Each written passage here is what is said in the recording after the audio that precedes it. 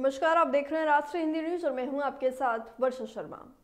महोबा मुख्यालय के शिखनपुरा मोहाल के रहने वाले सादिक के सात वर्षीय सरताज घर के पास खेल रहा था। तभी पास में बने कुएँ में गिर गया। मासूम के कुएँ में गिरने की सूचना मिलने पर मौके पर पहुँची पुलिस और फायर ब्रिगेड ने कड़ी मशक्कत कर मासूम को कुएँ से बाहर निकालकर जिला अस्पताल ले जाया गया, जहाँ डॉक्टर ने उसे मृत घोषित कर दिया।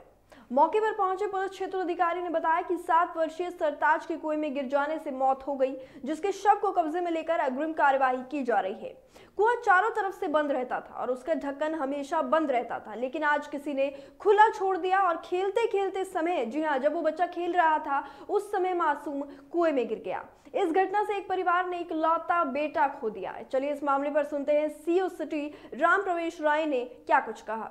वाली थाना क्षेत्र सुभाष चौकी के अंतर्गत मोहल्ला शेखनपुरा में एक सरताज बच्चे का नाम है, जिसकी उम्र लगभग आठ साल है। खेल रहा था खेलते खेलते कुएँ में गिर गया, जिसकी डेथ हो गई। अस्पताल लाया गया, निकलवा करके फायर सर्विस और हमारी पुलिस बल की टीम के द्वारा, जहाँ डॉक्टरों द्वारा मृत घोषित कर दिया गया है। आगे की विधिक कार्रवाई कराई जा रही है। फ़िलहाल के लिए इतना है, बाकी खबरों और अपडेट्स के लिए बने रहिए मेरे साथ और देखते रहिए राष्ट्रीय हिंदी न्यूज़। जय हिंद।